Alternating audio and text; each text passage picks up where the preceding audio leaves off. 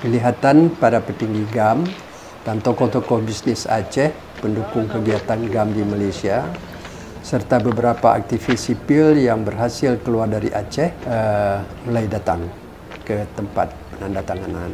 Mereka telah berkumpul di Stockholm seminggu sebelum terbang ke Helsinki. Kelihatan berjalan di depan tiga anggota Presidium Sentral Informasi Referendum Aceh, SIRA, uh, Faisal Rida, Nasruddin Abu Bakar dan Dawan Gayo serta Ketua Majlis Nasional GAM di Malaysia almarhum Tengku Usman diikuti oleh Irwan Yusuf. Kelihatan menyambut di depan pintu beberapa pejabat tinggi pemerintah RI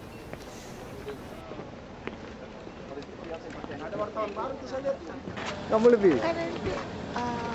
Ah. Yang memegang mikrofon menegur saya adalah Santoso Abu Priyadi, koresponden siaran bahasa Indonesia Radio Belanda. Di dalam ruangan tempat penandatanganan kelihatan William Nelson atau lebih dikenal di kalangan kombatan GAM sebagai Abu Billy dan yang tidak asing lagi Bakhtiar Abdullah, salah seorang uh, perunding senior uh, di Helsinki dan juga dulu di Jenewa dan Tokyo. Di tepi dinding, saya dengan penasihat tim perunding GAM Dr. Damien Kingsbury. Juga kelihatan Nezar Patria antara lain, jurnalis dan aktivis Aceh terkenal hmm, dari Jakarta.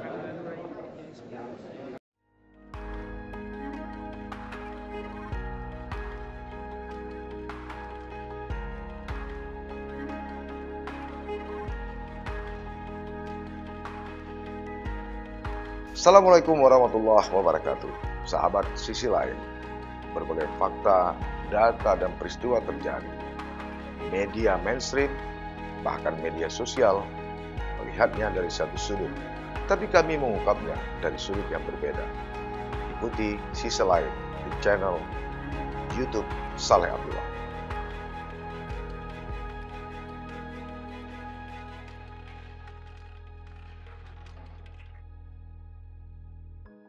Assalamualaikum warahmatullahi wabarakatuh. Sahabat sisi lain, 16 tahun MOU Damai Aceh antara Gerakan Aceh Merdeka dengan pemerintah Indonesia. Banyak dinamika yang terjadi antara Aceh dan Jakarta. Ada yang menyebut bahwa Aceh kembali dalam tanda petik dikhianati oleh Jakarta. Tetapi Jakarta menyebut ternyata tipu Aceh belum juga berakhir. Apa sebenarnya yang terjadi dalam rentang waktu 16 tahun Aceh Damai ini? Kami mengundang narasumber yang sangat berkompeten dari segi pemahaman soal perdamaian, kemudian ikut menghadiri uh, proses perdamaian itu sendiri di Helsinki. Beliau adalah Nejar Patria, seorang aktivis 98, kemudian menghabiskan karirnya di jurnalis. Boleh disebut beliau adalah salah satu jurnalis senior di negeri ini. Selain aktif di beberapa media nasional dan internasional seperti Tempo dan CNN, beliau juga pernah aktif sebagai komisioner Dewan uh, Dewan Pers atau anggota Dewan Pers. Hari ini beliau berkarir di BUMN yaitu PT Pos.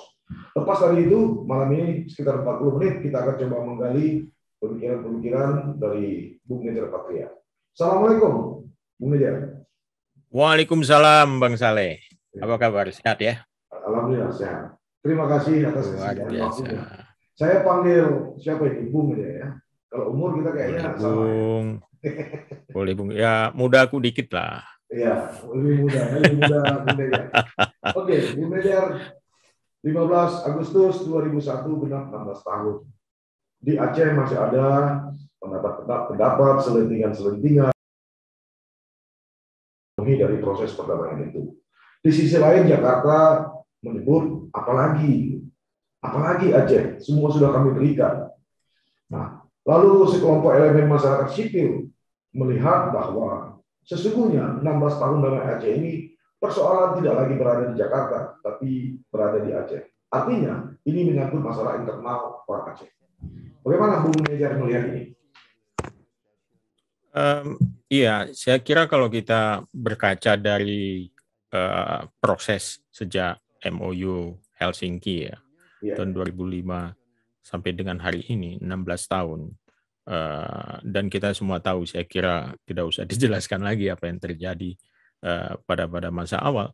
Tapi saya kira saya setuju. Yang pertama saya setuju apa yang Bang Saleh tadi uh, sebutkan bahwa konflik yang tadinya diselesaikan banyak di Jakarta atau pengaruh Jakarta, sekarang bergeser ke Aceh. Mungkin kalau kita bagi dua fase ya, setelah MOU Helsinki itu uh, di 2005 sampai dengan 2007, 2008 saya kira, 2007 lah setelah selesai uh, pemilu ya, pertama di bawah uh, eh, MOU Helsinki. Uh, sebetulnya konflik bergeser dari Jakartanisasi ya. konflik Aceh menjadi Acenisasi konflik Aceh gitu ya. Uh, Kenapa itu bisa ya, Ya, saya kira karena memang ruang politiknya terbuka di hmm. lokal ya, lalu hmm. muncul uh, sejumlah elit-elit politik uh, yang sebetulnya sudah sudah uh, lama bermain ya, ya dari sebelum konflik, lalu juga uh, setelah konflik, dan tentu saja uh, setelah MOU Helsinki itu kita mengalami satu fase ya di Aceh apa yang disebut sebagai transisi dari konflik ke demokrasi gitu ya. Uh, ini ini memang satu fase yang sangat kritis sebetulnya. Hmm. Apakah kekuatan-kekuatan yang pro perdamaian berhasil melakukan konsolidasi politik atau tidak? Gitu. Apakah uh, konsolidasi politik yang mereka lakukan itu berhasil mewarnai atau setidaknya menjadi satu kekuatan yang diperhitungkan yeah. untuk yang diperhitungkan yeah. untuk bisa uh, membawa cita-cita dari satu kelompok yang uh, tadinya sebagai driver untuk yeah. konflik ya. Nah ini ini yang menarik saya kira apa yang terjadi di Aceh. Uh, kalau kita simpulkan apakah dia gagal atau berhasil, uh, saya kira masih terlalu dini ya untuk mengatakan bahwa proses perdamaian di Aceh gagal dalam artian membawa Aceh jadi lebih sejahtera ya. Oke, okay. uh, ada berapa? Hmm. Kalau berapa kita baru bisa menyimpulkan gagal atau tidak? Apakah 20 tahun atau 25 tahun? Uh, saya nggak tahu, saya nggak. Uh, saya kira kita nggak perlu membuat satu satu Estimasi. patokan. Ya. Iya, karena uh, ya seperti bang Saleh tahu lah, semua prediksi politik kan pada akhirnya uh, mungkin lebih baik kita melihat prosesnya saya kira ya prosesnya apa sebetulnya yang terjadi di Aceh dan uh, mau ke mana sebetulnya uh, yang paling penting saya lihat ya yang harus kita syukuri dari MOU Helsinki adalah kita mendapatkan uh, dua hal di sini ya satu katakanlah dia disebut sebagai kebebasan berpolitik uh, di mana kekuatan-kekuatan politik lokal di Aceh yang tadinya menggunakan senjata sekarang bisa masuk ke politik elektoral, mendirikan partai politik lokal. Hmm. Saya kira ini warisan yang paling paling signifikan hmm. dari uh, uh, proses perdamaian. Kedua adalah uh, semacam kesepakatan ekonomi buat Aceh, gitu ya. Ya ada dana otsus, ada keleluasaan untuk uh, mengelola sumber daya alam dan lain sebagainya macamnya Uh, ini tentu saja satu peluang ya, satu modal ekonomi yang cukup besar, yang seharusnya dalam pandangan yang normatif saja gitu bisa membuat Aceh jauh lebih baik ya dari sebelumnya. Harusnya bisa bisa begitu. Ya. Tapi saya kira ini banyak masalahnya, Bung Saleh. Ya, khusus misalnya masalah politik lokal ya. Uh, rakyat Aceh sudah memberi mandat kepada partai politik lokal yang kemudian dari periode ke periode terus mengalami degradasi elektabilitas. Ada yang menyebut ini adalah sebuah proses penyadaran dari berpolitik rakyat Aceh terhadap politik lokal. Tapi ada yang menyebut juga ini adalah ikut campur tangan, campur tangan Jakarta untuk mereduksi kekuatan partai politik lokal. Ini bagaimana menurut Bung Media? Um, ya ini sebetulnya tergantung standpoint kita ya standpoint iya. kita dalam melihat uh, konflik itu sendiri gitu loh.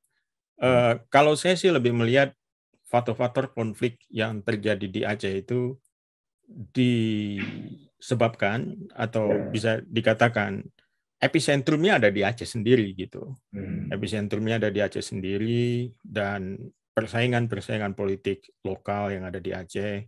Ya, uh, ya tentu saja menyeret uh, sejumlah kepentingan nasional karena kita tahu ada juga partai-partai nasional di Aceh gitu kan uh, yang juga membawa agenda-agenda uh, nasional lah bisa kita katakan begitu ya. Tapi saya melihat begini, sejak MOU Helsinki, baik partai lokal maupun partai nasional, sebetulnya bicara dalam bahasa yang sama hmm. semuanya, gitu ya. Semuanya bicara bagaimana memajukan Aceh, bagaimana membuat uh, Aceh lebih baik, gitu ya.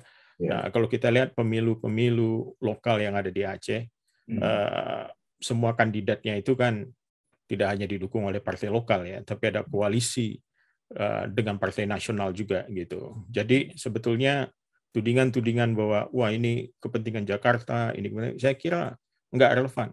Kalau ngelihat bagaimana koalisi-koalisi politik lokal yang terbentuk di Aceh itu ya. juga mengajak partai-partai nasional gitu.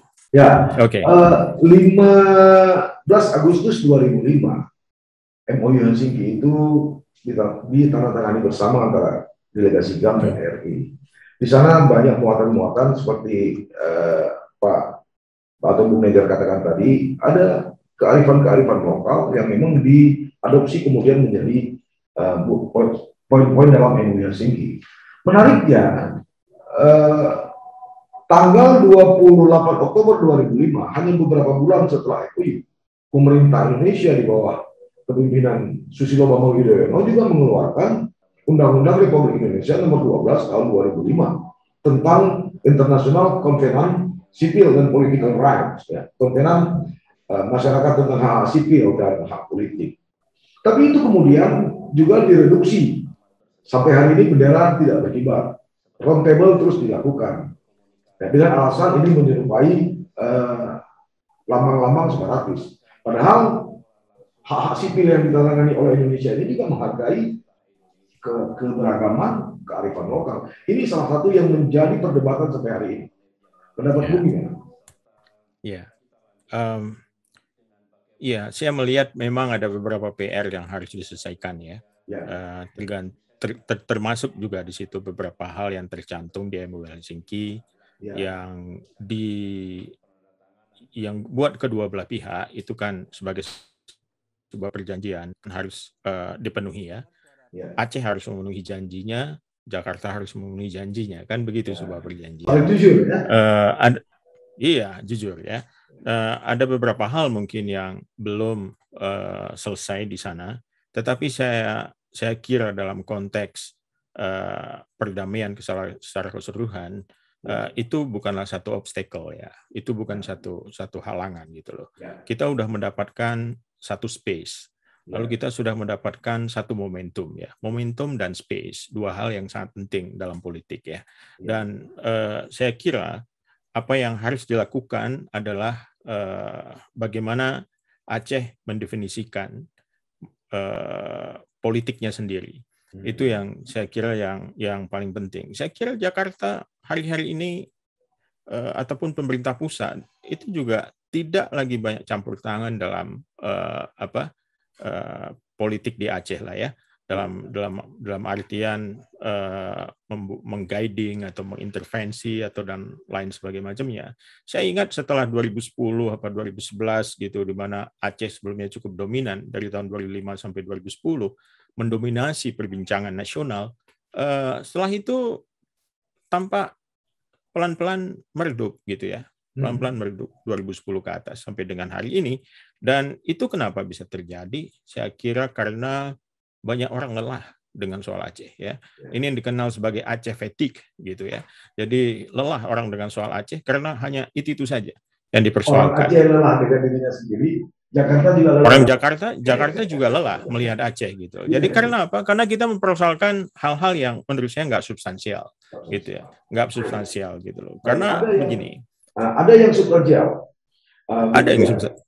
Ya, peraturan pemerintah Republik Indonesia nomor 3 tahun 2015 yang ditandatangani Presiden uh, Joko Widodo ini menyangkut kewenangan pemerintah yang bersifat nasional di Aceh.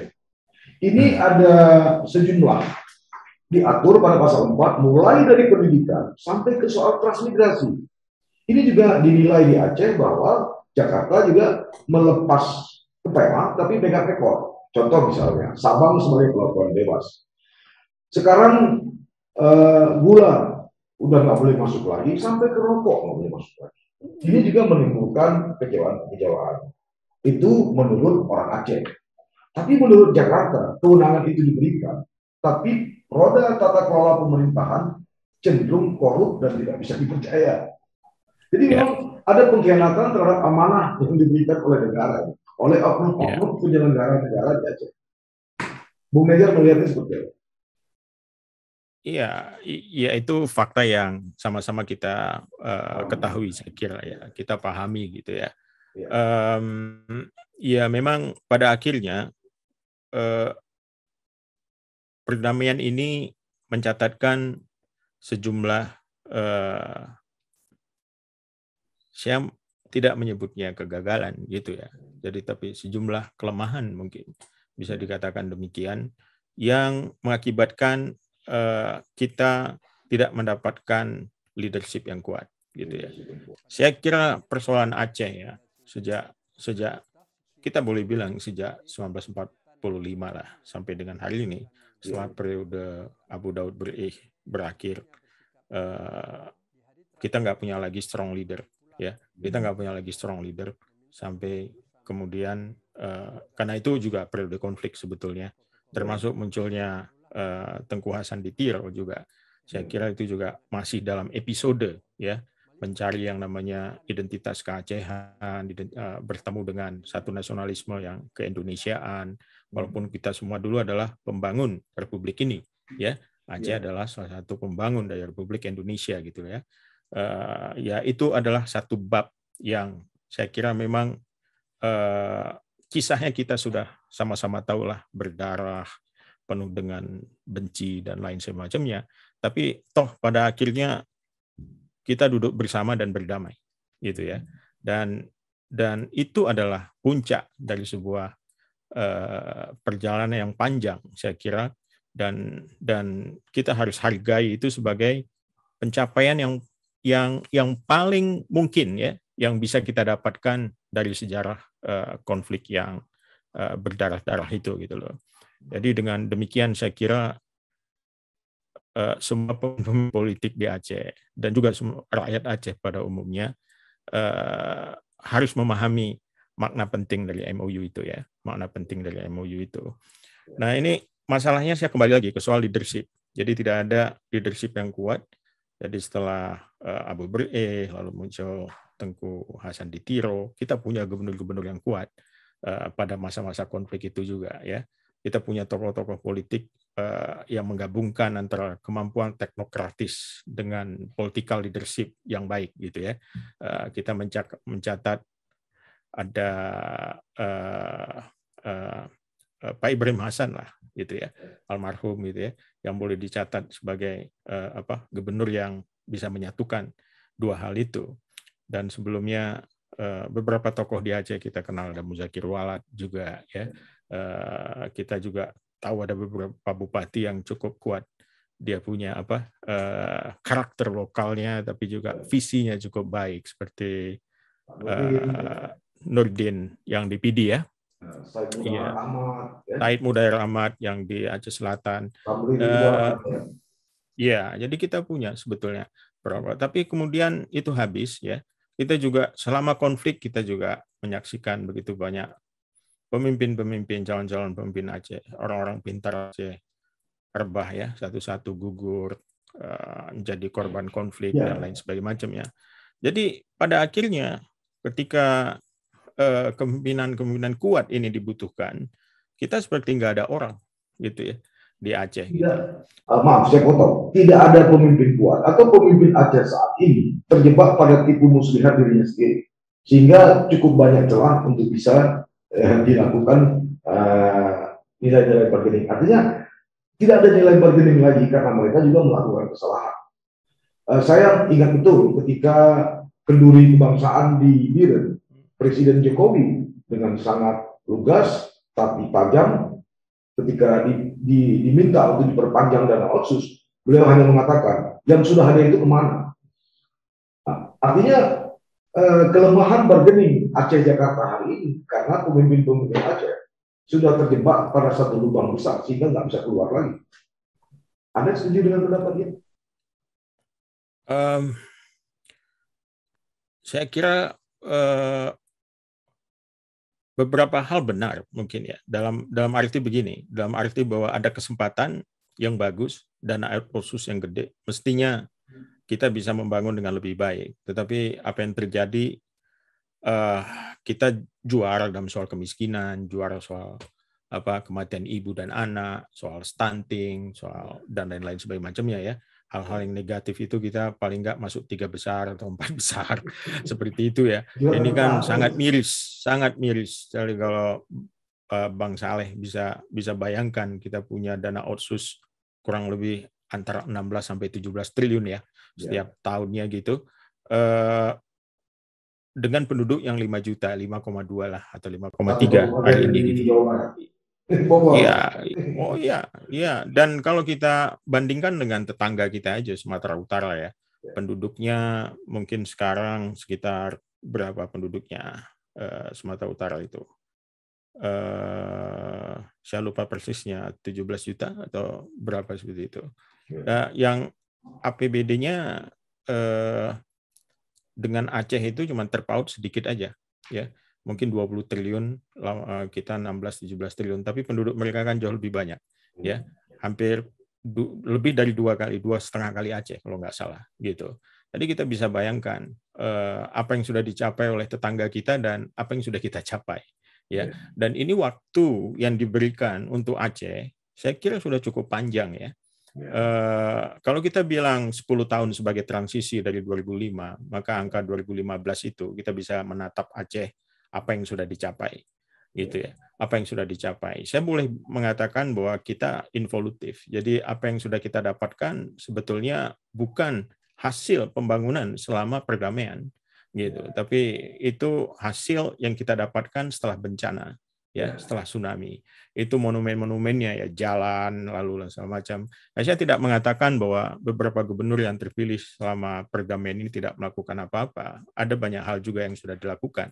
Saya hmm. kira ya uh, di zaman Irwandi ada beberapa terobosan-terobosan uh, yang penting gitu ya, termasuk juga beberapa ide yang bagus uh, dan dia memimpin di tengah konflik yang cukup parah pada waktu itu. Ingat konflik lokal yang memakan korban ya. Pemilu aja itu kalau nggak salah 14 orang meninggal ya. 14 orang mati tertembak. Bukan meninggal biasa ketabrak motor ya, tertembak gitu ya. Mati tertembak gitu. Eh, lalu kemudian pada zaman eh, kepemimpinan Dr. Zaini ya beberapa hal dilanjutkan, tetapi eh, kita belum menemukan satu monumen yang lain ya yang ditinggalkan gitu. Dan lalu kemudian Irwandi terpilih lagi tapi dia kali ini berumur cukup singkat pemerintahannya ya. Uh, dia tersandung oleh satu kasus uh, yang mengharuskan dia uh, kena hukuman. Lalu kemudian sekarang era Pak Nova gitu ya. Dan dan kita lagi-lagi menyaksikan satu ketidak ketidakstabilan politik lokal lah dalam artilah dalam artian persaingan-persaingan yang cukup tajam di antara kekuatan-kekuatan atau kubu-kubu politik membuat pemerintahan seperti jalan di tempat gitu ya.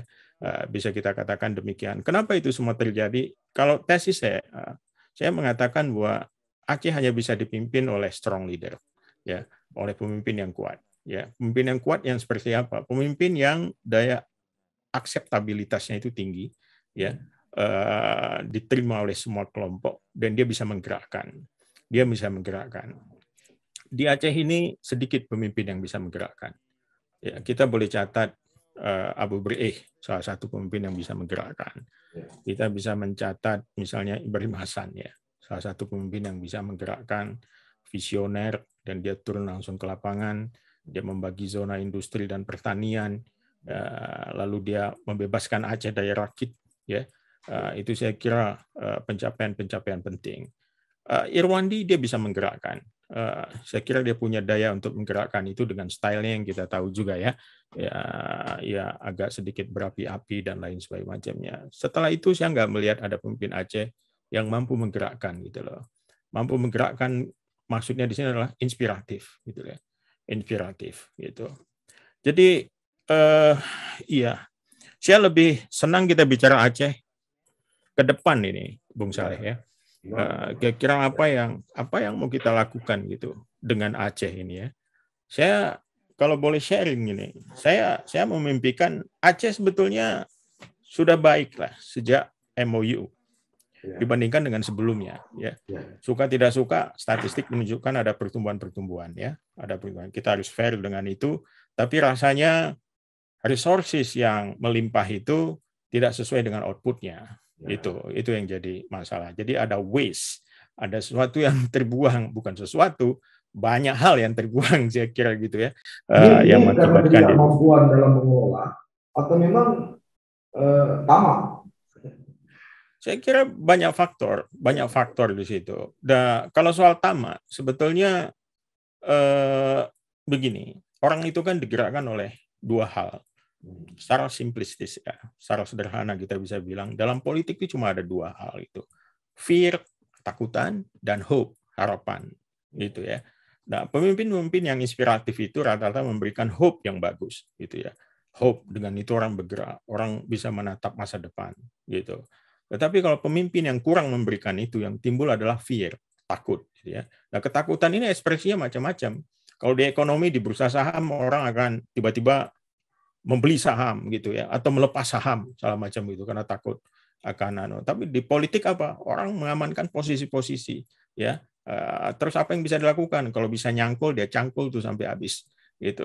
ya kan? Uh, icok mendum lah, nah kan, eh, rata icok mendum kan, nah, itu kalau kalau bisa dilakukan itu yang yang yang dilakukan gitu kan ada fear gitu, insecurity yang begitu besar, karena apa? Tidak ada jaminan kalau nanti Eh, kekuasaan berganti, saya nggak akan kebagian. Eh, saya nggak, saya saya akan kebagian, gitu loh. Selalu ada pikiran sekali duduk gimana kalau bisa kita rampas semuanya itu sampai tujuh turunan, kan gitu, ya kan? Nah itu itu yang ada di kepala uh, banyak orang gitu ya di dalam dalam berpolitik. Kenapa kenapa demikian?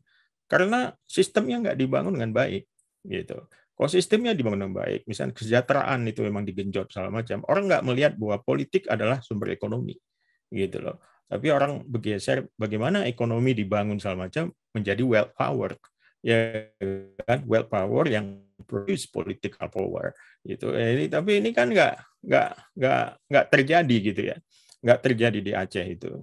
Simple aja. Kita lihat selama 15 tahun, 16 tahun sekarang perdamaian. Eh, sebetulnya suatu suatu masa yang cukup untuk membangun sebuah kelompok bisnis yang kuat di Aceh gitu ya. Sebuah kelas eh, apa kelas sosial yang eh, apa yang kuat lah. Bisa dibilang kelas pedagang yang kuat gitu pedagang lokal yang kuat. Tapi kita nggak menyaksikan itu di Aceh. Kita nggak menyaksikan itu di Aceh. Ini absennya kelas pedagang yang kuat lokal ini ini menunjukkan bahwa eh, eh, secara ekonomi politik Aceh itu lebih disetir oleh uh, yang namanya pemerintahan lokal ya lokal budget lebih bermain untuk mendrive ekonomi yang ada di Aceh. Nah, kalau udah apa APBA diketok, ya. ramai kedai kopi, ya kan? Begitu itu ditahan, gubernur nggak teken, salah macam kan? Wah, sepi kedai kopi itu, iya. macet semua, ya kan? Nggak bisa diamprah uang ini, nggak bisa itu, ekonomi langsung lesu, gitu. Nah, saya kira itu nggak sehat karena uh, itu bukan tipe satu ekonomi yang bisa memacu pertumbuhan dengan baik gitu ya kan? Karena apa? Karena ya semuanya di drive dengan uh, apa? Proyek-proyek pemerintah gitu ya proyek-proyek pemerintah lokal. Artinya apa? Entrepreneurship itu enggak enggak enggak bangkit di Aceh. Enggak dan peran pemerintahan lokal mestinya menginjek ini ya menyediakan fasilitas-fasilitas buat uh, kelompok-kelompok uh, baru yang ada di Aceh, generasi muda yang menurut saya yang lahir pada waktu konflik Aceh, waktu perdamaian mungkin umur mereka adalah 10 tahun, 12 tahun waktu itu ya. Dan dia adalah generasi perdamaian ya. Dia menyaksikan jatuh bangun pemimpin Aceh yang selama masa perdamaian dan itu semua mereka catat ya dan mereka tahu ada hipokrisi di situ, ada macam-macam hal di situ dan mereka mungkin juga sedikit muak melihat keadaan yang sekarang ini. Ini untuk menjelaskan kenapa kemudian mimpi-mimpi untuk membuat satu apa yang kita sebut sebagai politik keacehan yang kuat itu eh, partai-partai yang mengusung tema itu pelan-pelan makin surut dukungannya. Itu fakta ya. Itu fakta gitu loh. Kenapa? Karena ada praktek-praktek politik yang mungkin mengecewakan, bukan mungkin, tapi kejadiannya demikian gitu ya. Nah, sekarang mari kita bicara, mari kita selamatkan generasi muda Aceh kita ini. Ya, generasi muda Aceh kita ini ya ini harus kita selamatkan. Satu, saya kira kita semua tahu ancaman narkoba itu begitu gila di Aceh. Kedua kemiskinan ya. Jadi kemiskinan kadang-kadang mendekatkan orang pada narkoba juga ya. Karena uh, saya ingat ada satu video yang beredar itu uh, ketika ditanya anak kecil tuh mungkin Bung Saleh pernah nonton juga gitu kan. Kita ditanya uh, uh, apa dalam bahasa Aceh gitu ya kalau udah kalau munyo munyo ente rayu uh, cita-cita ada uh, terus anak kecil ini jawab dia bilang oh nun kena jut toke sabe. Bilang gitu. Pokon Pakon kena je toke sampai. Hai je belum motor tu, belum Ferrari. belum Mercy, benar kan? Nah, jadi bisa beli Ferrari, bisa beli Mercy gitu. Itu satu edukasi yang saya kira itu. Itu satu hal ya, itu satu hal. Tapi kenapa itu jadi pilihan? Karena pilihan-pilihan lain sudah nggak ada. Opsi-opsi untuk bergerak, untuk tumbuh itu udah nggak ada. Ini potret suram. Tapi saya saya kira saya begini. Uh, dalam dalam membuat Aceh dari good menjadi great. Nah, ini penting ini, Bung Saleh ya. Dari baik menjadi hebat. Kan ada slogan Aceh hebat ya. Itu sebetulnya bagaimana? Menurut saya ada tiga hal itu yang paling penting itu. Satu, pikiran yang berdisiplin. Ya. Yang kedua, eh, yang pertama orang dulu. Orang yang berdisiplin. Yang kedua, pikiran berdisiplin. Yang ketiga, baru aksi, tindakan yang berdisiplin.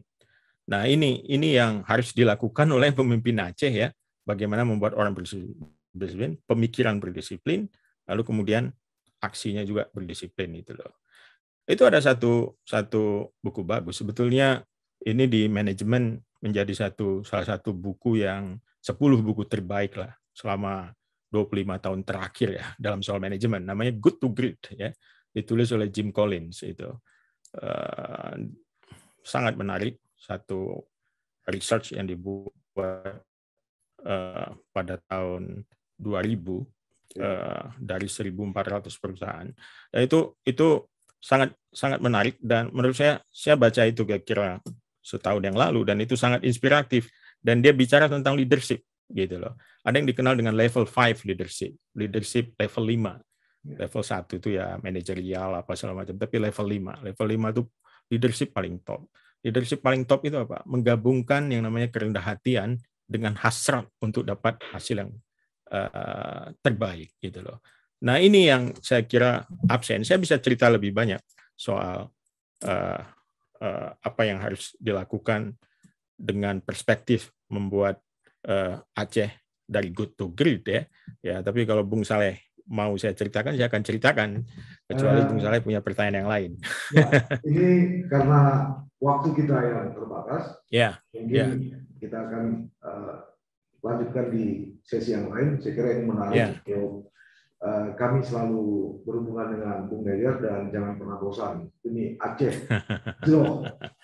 Ya, ya boleh kita cerita nanti good to great itu gimana ya, caranya. Mungkin sesi berikutnya kita akan coba kupas soal itu. Hmm. Cuma untuk yeah. ini dalam edisi pertama kami kira cukup di sini dulu. Bung Reza, terima kasih waktunya dan jangan pernah bosan berpikir untuk tanah kelahiran kita.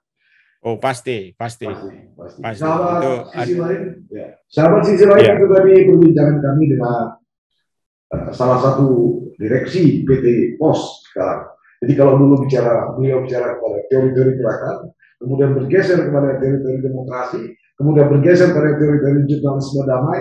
Nah malam ini juga beliau bicara soal leadership dan manajemen. Ya ini saya kira sesuai dengan uh, profesi baru umur yang sudah bertambah. Tapi kita tetap yakin Bung Nejar akan tetap memberi kontribusi. Andai kata 2024 dicalonkan jadi gubernur,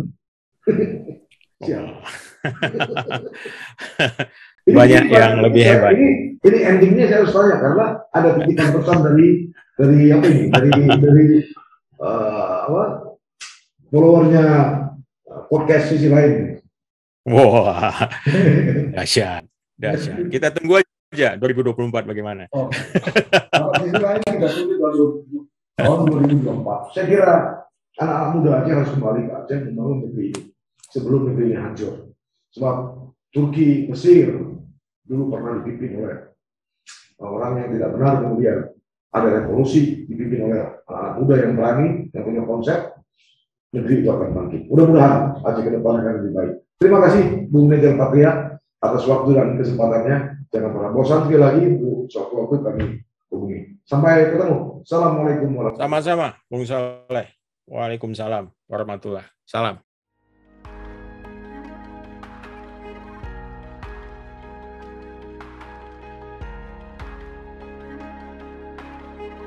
Jangan lupa like, komen, dan subscribe. Serta aktifkan lonceng notifikasi